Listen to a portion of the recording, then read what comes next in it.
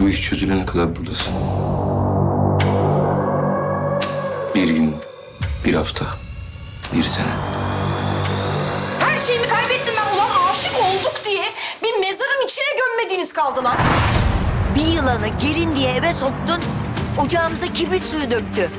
Babanın o canını verdiği imparatorluğu... Bak bundan sonra baba da benim, imparator da benim, kral da benim. Anladın mı?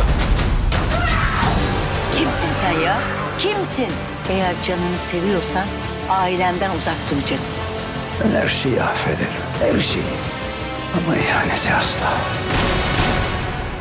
Buradan gidebilmen için benim ölümü çiğnemen lazım.